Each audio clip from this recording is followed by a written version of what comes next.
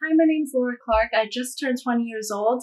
I'm an accounting major and I'm a first generation college student.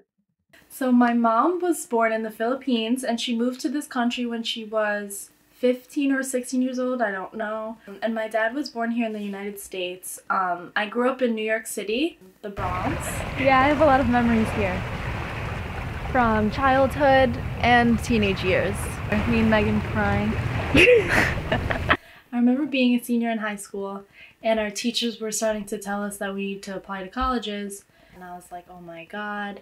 Like, super overwhelming. It is. Like, your teacher's telling you that and you have no idea what you want to do with your life and you're like where what where am i going like what is happening financial aid too and so pretty much i had to go home and figure it all out by myself because obviously my mom didn't understand any of that she has no idea what college even like is like so when i was applying for financial aid they ask you like a lot of financial questions and so I would do that all by myself because I have been doing my mom's taxes since I was like 14 or 15 years old. That was kind of hard to just like put together, I guess, being 17, 16 years old, and you're like, okay, what does this even mean? When I first signed up for financial aid, my first year in college, I went away to SUNY Oneonta and I spent one semester there. I didn't get enough financial aid as I deserved, I guess, probably because I filled out the thing wrong, and that's why like, I'm still struggling today. I'm trying how to figure out, like, you know, the Excelsior scholarship? Like, I'm signed up for it, like, I'm eligible for it, and I still don't get it. That's weird. I know. So to this day, I do not have any financial aid. I have to pay it somehow by December. I don't know how. It's like 2000 something, which is like not a lot, but like it is when you have to pay rent, have to pay car insurance, have to pay your phone, so I work at a grocery store. I've been at the same like facility for four years there. Um, I started off as a cashier, and last November, the owners of the grocery store sold it to another family. So, under the different owners, I've taken on more responsibilities at the store. I'm pretty much a manager, but I don't have the title. That's an issue. Um, I do everything. I do the price changes. I do delivery orders. I do the cashier. I help with the bakery. I help with the deli. Like literally every anyone who needs help in that store, like I'm there. Um, I work there four days a week. I recently got my Sundays off, but yeah, I work there about thirty hours a week. So it is tough trying to like deal with school and work because obviously I want to focus on school. School is my main priority, but it sucks when you have no money to do anything. So obviously I need to work to just even live life. Like so the routine of like going to school and going to work, going to school, going to work, going to school, going to work, like sometimes I feel like a robot and it's hard because it's like there's other stuff happening in my personal life too that I have to also deal with, but you have to just keep going. So over the past year, I lost um, my ex boyfriend and my nanny. Um, I'm trying not to cry right now.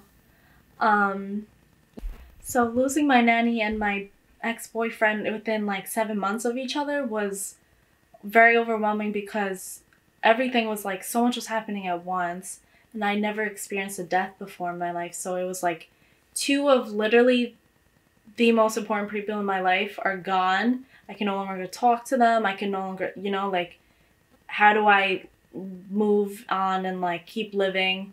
At one point, to try and like occupy myself and not just be so down, I guess you could say.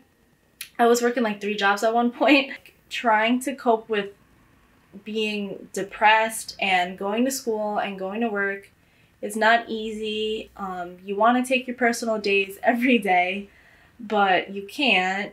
Like at nighttime, that's like when it hits you the hardest, I guess, because you're just like laying there by yourself and you're like, fuck, like this is really my life. Some people, they wake up, they don't have to think about worrying about anything. Like their parents have given them everything. They go away for school and they party and lose their scholarships and they don't even care. It doesn't matter because they know that their parents are always going to back them up. I'm not saying my parents are not backing me up because they support me 100%. They push me to succeed and stay focused in school, but they just don't have the the support educationally and like financially. So it's like I'm in this by myself, but I'm not. I have a lot of support. But when it comes down to it, it's just me doing everything. It sucks. it sucks. Um, there's a lot of expectations for me from my family, especially my parents. My dad all the time he jokes around. He's like, "Oh, like you're going to buy me a Harley one day." But of course, like they rely on me or they're counting on me to like graduate college, get the degree, start working for an accounting firm, start off with like a hundred thousand salary, be able to afford a nice big house and have my mom have her garden that she always wanted. So yes, I do want that for myself and that's what's like pushing me. I'm like, cause I don't want to live the same way I have been living my entire life in like a small apartment and like just not happy. You know, when your home situation isn't like comfortable and clean and nice, it's like your whole life is like shit kind of. Home should be like your your haven, you know?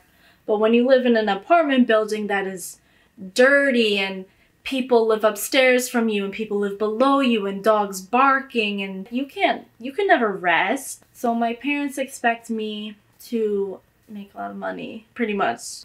But I also want to be able to like enjoy life, you know what I mean? Like I want to travel. The only time I went out of the country was for the Bahamas in our senior year trip. Like I told my dad it was for a freaking educational trip. I want to live a good life and just be happy, but it's really hard when you have so much people relying on you and so many responsibilities. So, you know, like it's tough.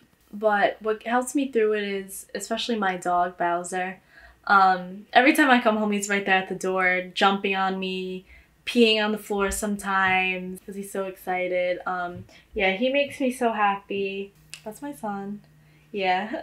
and of course, like my friends, my family, and myself. I always motivate myself. Like, I go down in the dumps, but then I'm like, okay, Laura, like, you are so capable of so many things. Like, I get compliments all the time on how, like, I have my head together and how smart I am. And it's like, some days I don't feel that way. But then I tell myself, if other people t- are telling me that, like, then I must be something, you know, like. And so, like, some kids who both their parents are born in the US, like, maybe one went to college, maybe one didn't, maybe neither of them did. But, like, regardless, their whole college experience is like, oh, like, it should be the best time of my life. But in reality, for a lot of people like me who are first generation students, it's not like that. Like, life happens, and you just have to kind of push yourself through it until you get there. And like the finish line is your degree and walking off that stage. And then you could just get your life going